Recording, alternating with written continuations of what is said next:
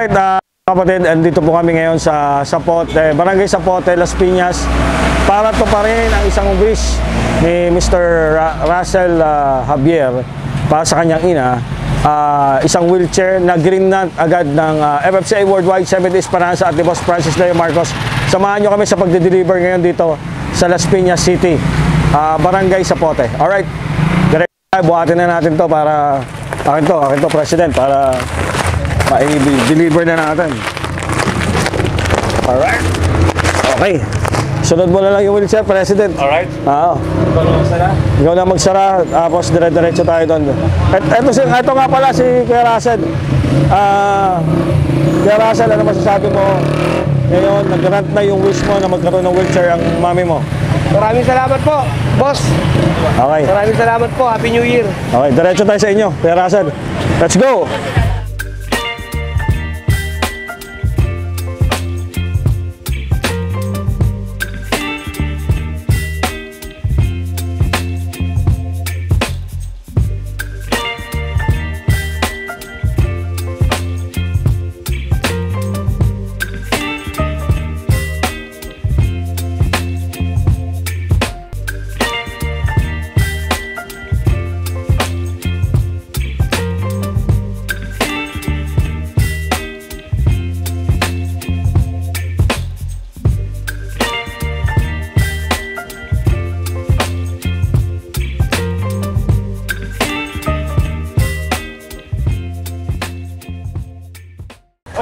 Last wheelchair.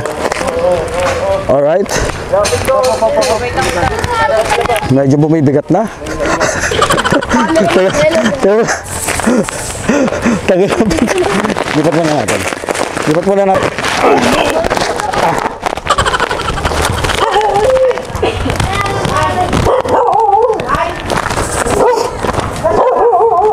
Alright.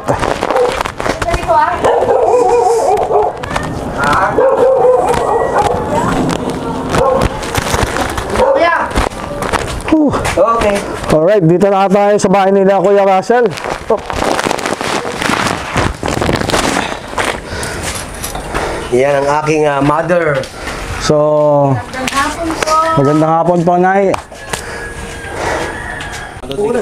Alright, so uh,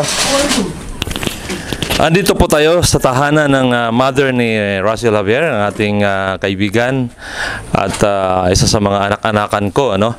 At um, ito kasi nagkataon na uh, nagkikita uh, nagkita kami. Humingi kami ng uh, assistance kay uh, Russell, ah, yung ah, CEO ng CMI de Esperanza at nabanggit nga po yan na kailangan niya ng wheelchair para sa kanyang mother at agad-agad naman po ay uh, inapogrinan po ng CMI de Esperanza in partnership with the Filipino Family Club International Inc. and of course with the approval of Francis Leo Marcos. Now, nandito po tayo ngayon para ihatid na po, no? Yung wheelchair, and of course, sinamahan na po ng isang ah, sakong bigas ah, para masulit. Thank you, boss. Ayun. So, ah Kuya Lemore? Alright, uh, this time kasama natin si Nanay at uh, ang recipient ni Boss uh, uh, Francis Leo Marcos ng wheelchair at uh, ng bigas. Nay, pakilala po tayo. Ano po pangalan nila, Nay?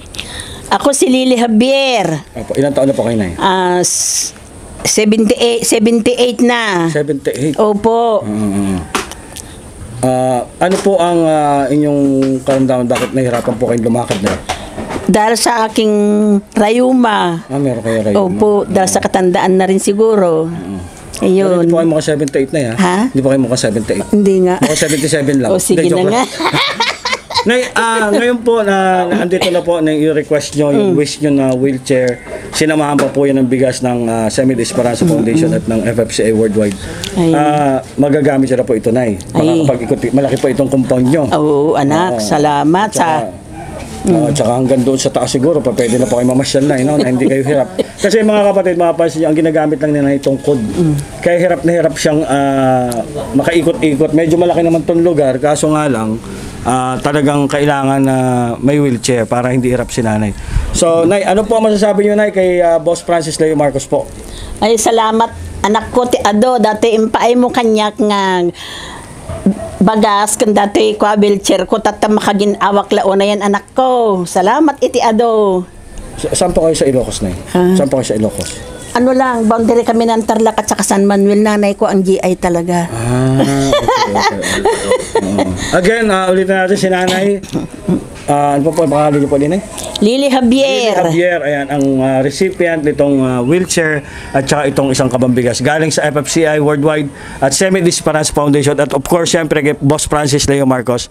Ah, again, ano po ba sasabi? In Ilocano po, kay, kay Boss Francis na po. Mm, salamat anak ko ti ado dati impaay mo kanyak nga kwa bagas kan dati wheelchair tatta makaginawa ka- akon anak ko nga magmag na salamat ti ado anak ko agyaman nak mm. Agbiag ka, Francis Leo Marcos. Yun. Sir. Alright, thank Agbiag ka, sir. Agbiag ka, sir. Ah, Francis Leo Marcos, idol. Maraming salamat po para sa aking nanay. Alright, thank you, thank you so much. Testingin na po natin ay ang inyong bagong wheelchair na para mag- matesting natin. Ayan. sige anak sige Oh, di ba? Lock pa siya. May preno pa yan eh, no? Oo, may preno pala. Hindi, may preno to na eh. ano yan may, may remote Oo. Wow. Dahan-dahan, medyo dahan, medyo dahan-dahan lang tayo dito kasi medyo pababa eh. oo nga. Palabas pa ba natin? At ah, nandito medyo maluwag yung ground mo na uh, pwede nyo matesting na para magamay nyo ba? Yung inyong bagong wheelchair. Sige po na, try na po natin. sige yan. Yun. Alright, so uh, magandang hapon. Maraming salamat uh, Ma'am Chiritita Kabatingan sa iyong uh, pag-grant kagad ng wheelchair no Pa- para kay uh, Nanay Lily uh, Javier no. Ah, siya po yung ma- mother po ni Russell Javier nung ating nakasama last time no. Alright, so uh, dahil sa inyong uh, pag-approve kagad ng uh, ah, kahilingan ng ating ah, kasamang si ah, ah, Russell Javier no ay ah, maraming salamat at sina- sinamahan na rin po natin ng ah, isang sakong bigas na 25 kilos ah, yung ating pagbigay kay Nanay Lily Javier. Ah, Kuya Russell no, ah, anak, ah, anong masasabi mo doon sa nag-grant kagad ni Ma'am Chilitita Kabatingan yung iyong grant nung ah, sinabi ko na yung mother mo ay kailangan ng wheelchair? Ah, masasabi ko po, ma'am, ah, boss ah, Francis Leo, ah, maraming salamat po. At uh, nag-grant po ah, agad yung ah, wheelchair ng aking nanay at ah, ba, may kasama pang ah, isang kamambigas. Maraming salamat po ulit. Happy New Year po. Maraming salamat po. Thank you. All right. Alright, uh, andito tayo ngayon kung saan ah, talagang mararamdaman mo ang ah, laylayan ng lipunan. Isa na naman pamilya ang ah, napasaya ng FFCI, uh, Semila Esperanza Foundation at Boss FLM sa pag-grant ng wish kay Nanay Lily Javier. Ah, sa mga gusto po na, na makakuha o makatanggap kung may pangangailangan kayo sa wheelchair, mag-comment lang dito sa video na to. Ah, ilagay nyo lang hashtag FLM Comeback at i- yung mga request nyo kung kailangan nyo ng bigas, wheelchair o salamin at para agaran, katulad ngayon, biglaan ah, na-approve yung request ni Nanay Lily Javier na siya ay magkaroon ng ah, wheelchair. Again, ah, para sa mga nangangailangan do- sa buong Pilipinas po ito, no? Ah, kung kailangan nyo po ng wheelchair, andito po si Boss Francis Leo Marcos, katulong ang Seven Esperanza Foundation, FFCI Worldwide para i-grant ang inyong wish. Again, the more creation here, sama-sama tayo. Sa, sabi nga ni Boss FLM, dito sa FLM community, ah, ang kanyang pangarap ay walang pamilya nagugutom at wala natutulog ng gutom. Thank you so much, Limor Creation here. Dito po sa Barangay, ah, sa Las Piñas City. Thank you so much.